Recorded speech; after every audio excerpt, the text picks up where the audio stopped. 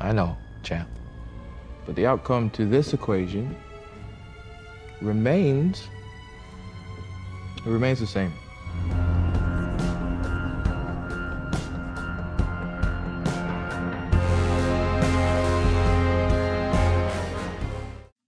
Welcome back, everyone. Is Charlie. The Loki Season 2 finale wrapped up a number of overarching plot threads heading into Marvel Phase 6 and Avengers 5. A lot of you have been asking what happened to He Who Remains after Loki broke the loom and created the new World Tree version of the wider multiverse, sitting atop the remains of He Who Remains, Citadel at the end of time, in his former chair. The chair that he's sitting in was the chair that He Who Remains was just sitting in earlier in the episode. There were a bunch of scenes that they didn't include the ending of episode 6 to explain what actually happened to him. So I'll explain what happened to him between Loki leaving his citadel at the end of time and then fixing the multiverse. Marvel is still currently committed to the Council of Kangs versus the New Avengers in Avengers 5 at the moment. So, just in general, right now, the whole concept of Kangs is still something that Marvel is working on. And the writer for Loki Season 1 is now writing Avengers 5 too. He already wrote Avengers 6 Secret Wars, if that wasn't clear. So there's a lot of energy from the Loki series just in general that's being baked into Avengers 5 and Avengers 6. If you're brand new to the channel, be sure to subscribe to get all the videos. There's a bunch of big stuff coming up. We have What If Season 2 episodes I'll be doing videos for pretty soon. And they just started releasing the Loki and the WandaVision Blu-rays, so we're giving away a couple copies. All you have to do to enter is just be a subscriber and let me know what you want them to do with Loki during Avengers 5 and Avengers 6.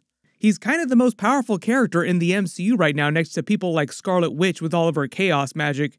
But at the end of the finale, Loki time slips back to He Who Remains Citadel at the end of time before Sylvie originally killed him during the events of Loki Season 1 in that finale. The moment he arrived in was this moment here after she lost all patience with him and made the lunge across the table at him, like, that's enough. Loki tries to stop her. They have their battle between the two of them where he tries to convince her not to do it. That all took place during the Season 1 finale. Originally, Sylvie pushed him back through the portal back to the TVA. His time slipping started. She proceeded to kill He Who Remains, causing all the problems they had containing the loom during season 2, basically setting the plot of season 2 off. When Loki comes back to that same moment in the season 2 finale, he's figured out how to control his time slipping, and He Who Remains realizes what's happened like, oh, okay, you understand how to do this now. How many times have you been at this? Oh, come on, you're not telling me you haven't learned how to pause time. He pauses Sylvie in time so they can have a chat just between the two of them, where he reveals that he orchestrated the events of season one and season two, these moments here, knowing that everything with the time slipping was going to happen. Like he did it on purpose, it was all part of his grand design. He reveals they never would have been able to fix the loom. All the Victor Timely stuff that he set up at the beginning of season two was part of his grand design, but that was part of the path that he was laying out for Loki to learn how to evolve into the god of stories, the god form of Loki.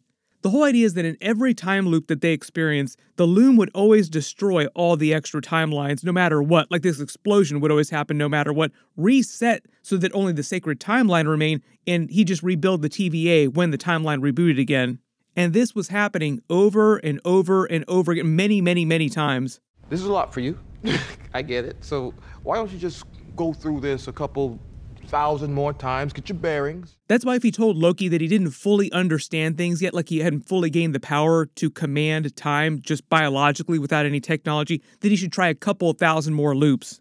All because He Who Remains was still trying to get Loki to take over management of the sacred timeline from him, but his secret plan was to push Loki through all these time loops to learn to unlock his God of Stories power, which then Loki shows that he's already learned how to do when he pauses Sylvie by flicking his finger. The reason He Who Remains created this elaborate time loop for Loki to go through over and over again to evolve this way was because He Who Remains wanted a more omnipotent being to be managing things after he left, someone who wouldn't be dependent upon technology.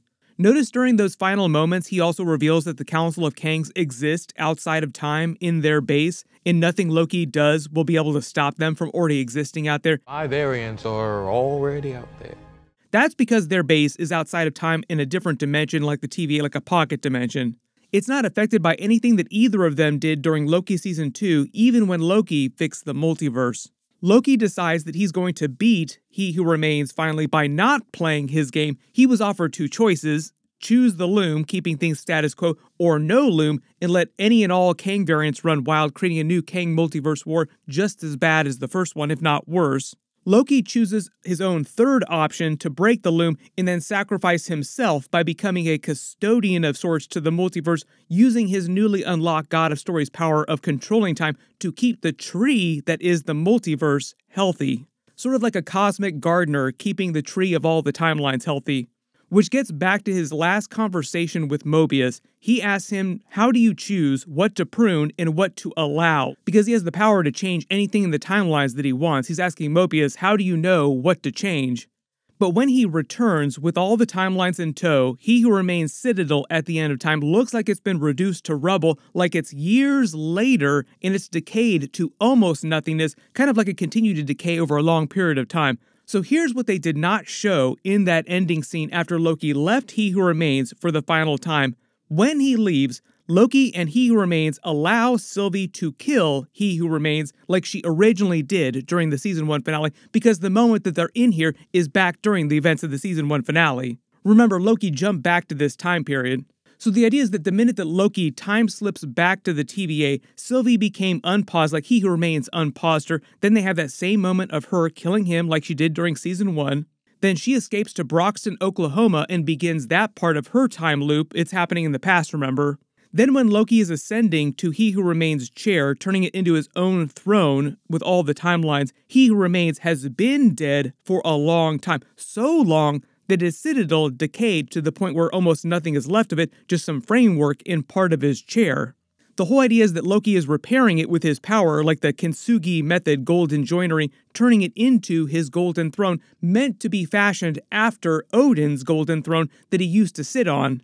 One of the other important details here, too, that kind of flows with this, if you couldn't tell, his new horns are made of that same Kintsugi style with the golden veins of the rock from the citadel in them. It's meant to be his god Loki costume, his Loki who remains costume, because that's basically what he becomes Loki who remains. So a lot of people are like, wait a minute, he who remains knew about everything that happened during Loki season two. If he had this even greater, deeper plan at play, would he have allowed himself to be killed? Part of the whole idea is that he wanted to leave the job. Like he didn't want to work anymore. He'd gotten so bored over the eons. So he was just trying to push Loki to the point where he could do all this on his own without any technology. And he was just waiting for that to happen to allow himself to be killed, to be perma killed, basically.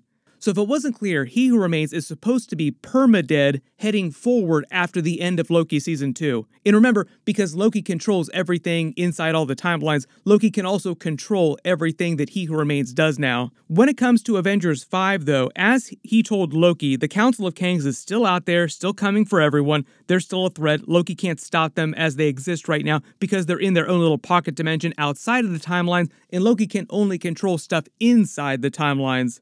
But that's why they had that moment at the ending with the TVA talking about Kang the Conqueror from Ant Man the Wasp Quantumania being defeated by a bunch of Avengers from the 616 universe. Basically, the TVA is now actively focusing on monitoring the Kang variants from across the multiverse. That'll wind up culminating during Avengers 5 and Avengers 6. It also explains how the TVA can continue to be involved in the events of Deadpool 3, because they will be a big part of Deadpool 3. And as far as Marvel being committed to the whole Council of Kangs storyline in Avengers 5, the way they've set things up is they can change whatever they need to change if they have to, if things go south with Jonathan Majors, because right now, as far as we know, they're still waiting to find out the results of whatever his trial winds up being. What that means is that they'll still be doing Council of Kangs stuff in Avengers 5 because it's still called Avengers 5 Kang Dynasty. But Darkest Timeline, at the very worst, they would just recast Kang and just continue to use the characters the same way they were going to before with the Council of Kangs. That's part of the reason why during the Loki series, particularly Loki season 1, they had a bunch of different variants of Loki that looked nothing like Tom Hiddleston.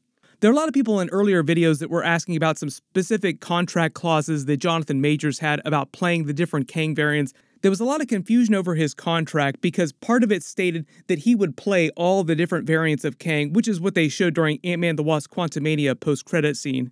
But his contract didn't give him the right to be the only person to play Kang variants, just that Marvel could ask him to play all the Kang variants if they wanted to, not that he had exclusive rights to do that. Right now, we're still in the middle of Marvel Phase 5 too, so Marvel has given themselves a couple years till they have to deal with Avengers 5 Kang Dynasty, so they don't need to actually use the Kang character or any of the Kang variants for a good long while. Part of the reason why they've done that is just to give this whole thing with Jonathan Majors time to clear itself up so that they can either bring him back in a couple years for Avengers 5 Kang Dynasty or recast the role with another actor in a couple years. So even though it sucks, we have to wait a couple more years for another Avengers movie to come out, like it's going to be 84 years between Avengers Endgame and Avengers 5. Right now, Marvel is just kind of using that delay to their advantage just to let things behind the scenes clear up before they actually need to use the Kang character again, for real, like they really need to use him. So when you're looking at like all these different movies and Disney Plus series that are still coming out the next couple of years, do not expect to see a bunch of Kang or Council of Kang stuff happening in the background. Those will be a lot of post-credit scenes, a lot of X-Men stuff happening. Like we have Deadpool 3 coming up, big multiverse storyline, a lot of TVA stuff going on during that next year. But for example, there's only one Marvel movie coming out next year, and it is Deadpool 3, because they're so confident in it. They basically delayed all their other movies till 2025 just to give them time to work a lot of their issues out behind the scenes, because there's a lot of issues, a lot of chaos going on behind the scenes at Marvel right now. So, like the end of Loki season two is like the last time you're meant to see a Jonathan Majors Kang, like Kang just in general, show up for a good long while. Like Kevin Feige is the real control of the multiverse, Kevin who remains, and he's paused him in time for just a couple of years just to wait out all the problems that he's having to see if they need to recast the character. I'm sure there's going to be a ton of questions about everything that's going on. There's a lot of announcements that they made recently about completely different shows, like a bunch of footage that's been dropping. So, of course, I'll do videos for everything as we get more news about it all. If you have any questions that I didn't address in this video about any of the characters or going forward what's going to be happening, just write them in the comments below. Everyone click here for my Loki Season 2 alternate ending for the Beyonder version of Loki that he evolved into, and click here for that Moon Knight Season 2 announcement that Marvel just made. Thank you so much for watching, everyone stay safe, and I'll see you guys in the next one.